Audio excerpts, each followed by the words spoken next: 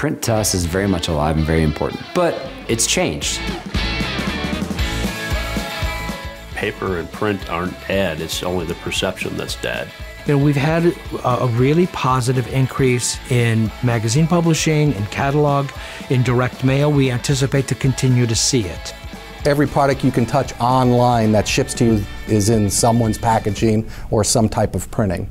You can't get away from it. We're setting up a lot of web portals that are driving web to print. The needs of our customers has really focused us into the digital area and why it's grown so much. Digital clicks surpassed offset impressions.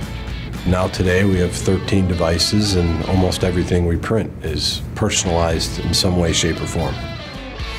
We're looking at about a 325% growth in the last 10 years. By implementing workflow solutions like Prisma Direct and Prisma Prepare, we now have the ability and capacity to handle almost double the business we were handling with the same equipment just a few years ago.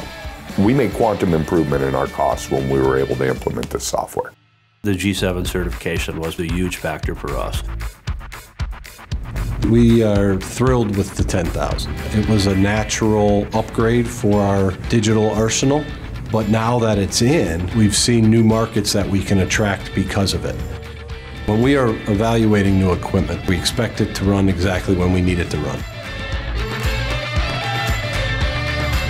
We're keeping up with technology, we're staying ahead of technology, and I think that's really what's helped us achieve that growth.